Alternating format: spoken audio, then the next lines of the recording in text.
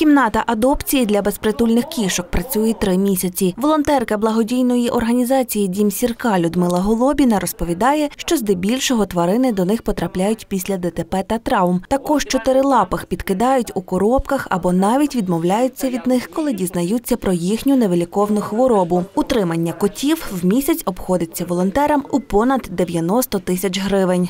Харчування йде для котиків. Ті, що здорові, то вони мають звичайні корма. Ті, що хворі котики, вони мають спеціальні корма лікувальні. Вони дуже дорогі. Ну і коли котики хворі, то відповідно їм іде пеленочки потрібні, необхідні, е, туалети, наповнювачі. Ну це дуже великі гроші. Це навіть ну, підрахувати це не можемо, бо кожна тваринка, перш ніж попасти в цю кімнату, вона проходить обробку від бліг, від глистів. І в цій кімнаті перебувають уже котики, які мають дві вакцини від хворіб. Ну, кожна вакцина це в середньому 200 гривень вартість на кожного котика. Завдяки існуванню кімнати франківка Іванна Вовчук прилаштувала собі аж двох улюбленців Масю і Мурчика. Мені порадили, що тут є дуже великий вибір, дають безкоштовно настільки в добрі руки. Я прийшла, подивилася, підійшла собі одного дуже красивого. Він зразу мені вискочив сюди, муркав, гладився.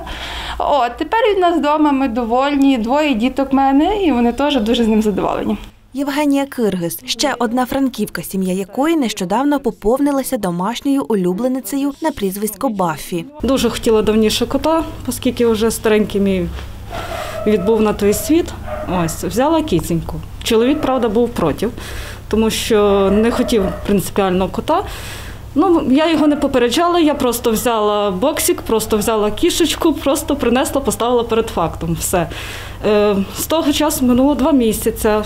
Кіця у нас з матінькою кіцюньки виросла дуже велика кіця. Волонтери розповідають, що всіх прилаштованих кішок власники можуть привезти в кімнату адопції на вулиці Угорницькій, 12 для безкоштовної вакцинації та стерилізації. Олександра Берчак, Олександр Букатюк. Новини на Суспільному. Івано-Франківськ.